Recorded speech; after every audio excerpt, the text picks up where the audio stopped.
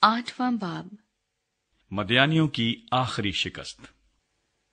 اور افراہیم کے لوگوں نے اس سے کہا کہ تو نے ہم سے یہ سلوک کیوں کیا کہ جب تو میدیانیوں سے لڑنے کو چلا تو ہم کو نہ بلوایا۔ سو انہوں نے اس کے ساتھ بڑا جھگڑا کیا۔ اس نے ان سے کہا میں نے تمہاری طرح بھلا کیا ہی کیا ہے۔ کیا افراہیم کے چھوڑے ہوئے انگور بھی ابھی ازر کی فصل سے بہتر نہیں ہے۔ خدا نے میدیان کے سردار اریب اور ضعیب کو تمہارے ہاتھ میں کر دیا۔ بس تمہاری طرح میں کر ہی کیا سکا ہوں۔ جب اس نے یہ کہا تو ان کا غصہ اس کی طرف سے دھیما ہو گیا۔ تب جدون اور اس کے ساتھ کے تین سو آدمی جو باوجود تھکے ماندے ہونے کے پھر بھی پیچھا کرتے ہی رہے تھے، یردن پر آ کر پار اترے۔ تب اس نے سکات کے باشندوں سے کہا کہ ان لوگوں کو جو میرے پیروں ہیں، روٹی کے گرتے دو، کیونکہ یہ تھک گئے ہیں۔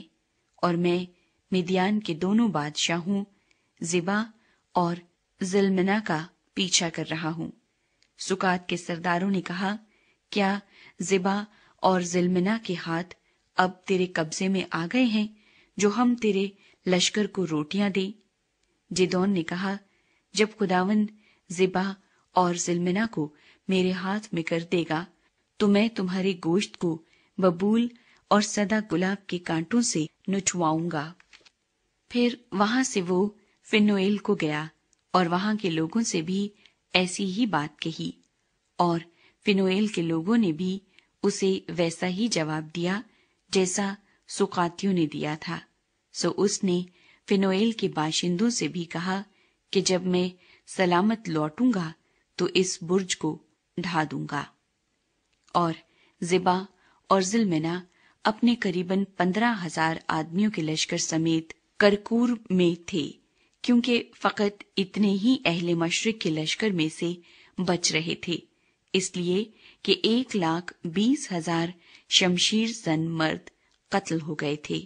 سو جدون ان لوگوں کے راستے سے جو ننج اور یق بہا کے مشرق کی طرف ڈیروں میں رہتے تھے گیا اور اس لشکر کو مارا، کیونکہ وہ لشکر بے فکر پڑا تھا اور زبا اور ظلمنا بھاگے اور اس نے ان کا پیچھا کر کے ان دونوں مدیانی بادشاہوں زبا اور ظلمنا کو پکڑ لیا۔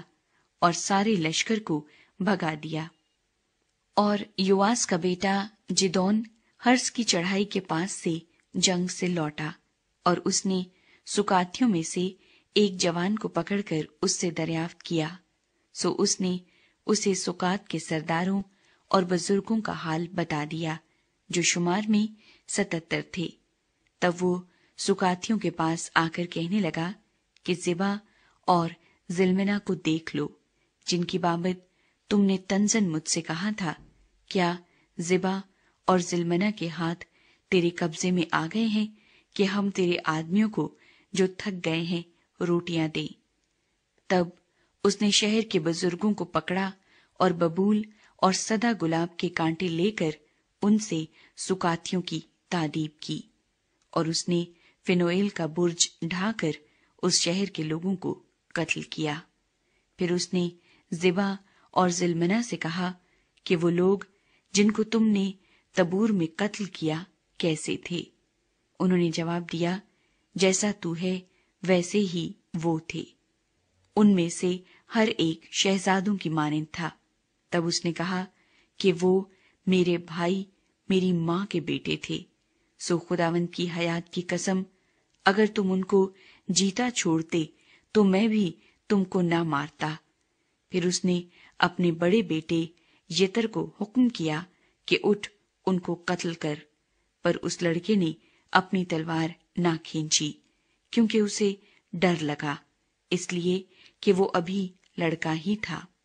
تب زبا اور ظلمنا نے کہا، تو آپ اٹھ کر ہم پر وار کر، کیونکہ جیسا آدمی ہوتا ہے، ویسی ہی اس کی طاقت ہوتی ہے۔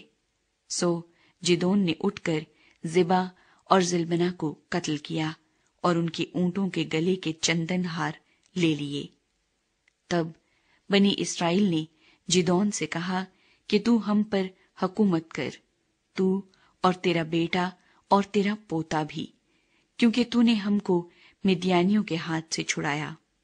تب جداؤن نے ان سے کہا کہ نہ میں تم پر حکومت کروں اور نہ میرا بیٹا، بلکہ خداوند ہی تم پر حکومت کرے گا۔